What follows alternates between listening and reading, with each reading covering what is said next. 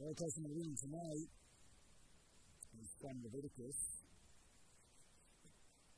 beginning with verse 8 of chapter 6, and going all the way through the end of chapter 7. This is a long reading. You'll find it on page 100 of your two Bibles. And please do not hesitate to come to sit. Leviticus 6, beginning at verse 8. Let's hear the very word of God. The Lord spoke to Moses, saying, Command Aaron and his sons, saying, This is the law of the burnt offering.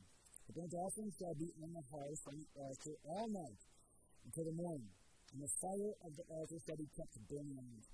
And the priest shall put on his linen garment and put his linen undergarment on his body, and he shall take up the ashes to which the fire has reduced the burnt offering on the altar, and put them beside the altar. Then he shall take off his garments and put on other garments, and carry the ashes outside the tent to a clean place. The fire on the altar shall be kept burning, and it shall not go out.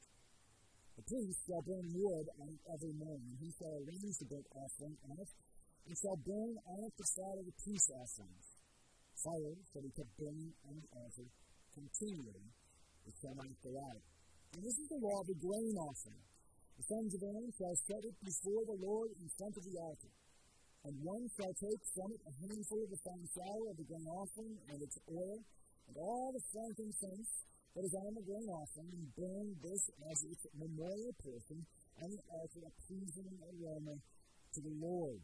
And the rest of it, Aaron and his sons shall eat.